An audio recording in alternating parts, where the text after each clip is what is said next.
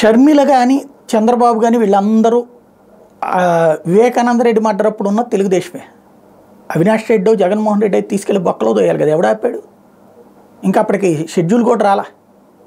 Announce చేసిన తర్వాతన announce చేసేదాకా ఎందుకు అసలు? అయినా అనౌన్స్ చేసిన తర్వాతనైనా చక్కగా నిష్పక్షపాతం కదా చేసేయచ్చు కదా ఎందుకు చేయలేదు? అంటే ఆ రోజున అంతా ఏం జరిగిందో తెలుసు. అప్పుడు ఉన్నటువంటి పోలీసులు తెలుసు అప్పుడున్న చంద్రబాబు తెలుసు అంతా తెలుసు. బట్ క్రైమ్లో ఎటు కావాలంటే అటు మలుపులు తెప్పచ్చు. క్రైమ్ సస్పెన్స్ అన్నటువంటిది చివరిదాకా సాగదీయచ్చు. రాజకీయాల్లో అది ఎటు కావాలంటే అటు వాడుకోవచ్చు.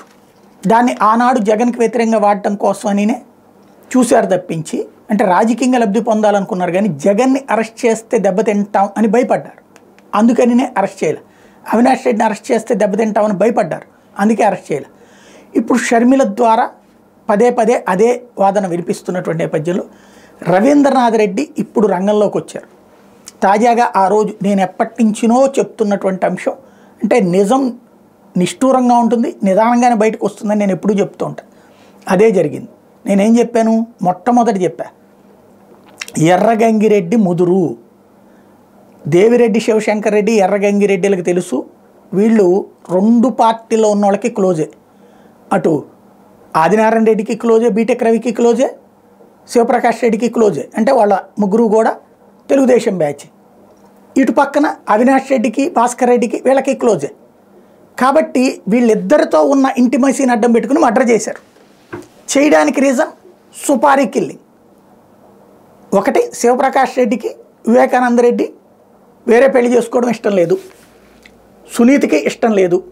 ఆస్తి రెండో అమ్మాయికి ఆ రాయడం అస్సలు ఇష్టం లేదు. వాళ్ళే డబ్బులు ఇచ్చి మర్డర్ చేయించారని నేను కన్ఫర్మ్ చేయను సర్టిఫై చేయను. కానీ కాగితాల కోసమే మర్డర్ జరిగింది అన్నటువంటి ఫ్యాక్ట్ అది తెలిసిన ఇంట్లో లొల్లవుతుంది అవినాష్ రెడ్డి. అవినాష్ రెడ్డిని అక్కడ ఓ రకంగా చెప్పాలంటే అతి మొహమాటస్తుడు. తను లండన్లో చదివి రావడం వలన అనుకుంటా లోక జ్ఞానం ఇక్కడ లోక జ్ఞానం లేదు. దాంతో జరిగేటువంటి దాన్ని తిప్పికొట్టడం జాతకాల. అదే షర్మిల మాట్లాడిన తరహాలో ఆదినారాయణ రెడ్డి మాట్లాడు ఆదినారాయణ రెడ్డి మాట్లాడిన తరహాలో షర్మిల మాట్లాడిన తరహాలో అవినాష్ రెడ్డి మాట్లాడుంటే ఎప్పుడో కథ వేరుగా ఉంటుంది.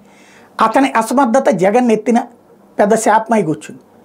అతను తీస్తే ఒక సమస్య తీయకపోతే ఒక సమస్య. అతన్ని ఎత్తిన పెట్టుకోవాల్సి వచ్చింది. పర్యవసానం షర్మిల ఇవాళ మాట్లాడుతుంటే ఇప్పుడు రవీంద్రనాథ్ రెడ్డి చెప్పుకొచ్చారు నేను అప్పటి నుంచి చెప్తున్నమాట ఎర్రగంగిరెడ్డి తుడిచేసింది అక్కడ. తుడుస్తున్న టైంలో భాస్కర్ రెడ్డి అవినాష్ రెడ్డి అక్కడే ఉన్నారు. ఆ కారణంగానే వాళ్ళ మీద కేసులు పెట్టబడ్డాయి.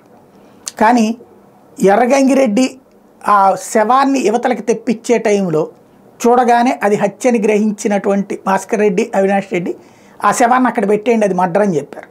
పోలీసులు పిలిపించింది వాళ్ళే అసలు విషయం అది. ఇప్పుడు ఆ విషయాన్ని షర్మిల దాన్ని డైవర్ట్ చేయడం కోసం అని చెప్పి అంతమాయకుడా నిన్నటిదాకా మొన్నటిదాకానేమో అన్నం మర్డర్ చేయించాడు. తర్వాత అవినాష్ రెడ్డి చేస్తుంటే చేసినోడిని చూస్తా కూర్చున్నాడు. ఇప్పుడు వచ్చేటప్పటికి నోట్లో పాలు ఏది నోట్లో ఏలు పెట్టుకుని కూర్చునేటటువంటి బిడ్డ అవినాష్ రెడ్డి. ఇది ఓవరాల్గా జరుగుతున్నది.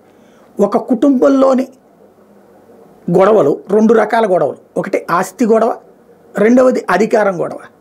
ఈ రెండింటిని ఈ దఫా జనం మీదకి తీసుకొచ్చినటువంటి వేళ ఇక నోరు విప్పడాలు ప్రారంభమైన రాబోయేటువంటి రోజుల్లో సీరియస్గా అన్ని అంశాలు రేపు అవినాష్ రెడ్డి చెప్పిన ఆశ్చర్యపోనక్కర్లేదు. ఇటు రవికి రవీంద్రనాథ్ రెడ్డి చెప్పిన ఆశ్చర్యపోనక్కర్లేదు. నమ్మచ్చు నమ్మకపోవచ్చు. ఒక నేరేషనే జనంలోకి వెళ్తున్నప్పుడు రెండో నేరేషన్ ఆరంభమైంది.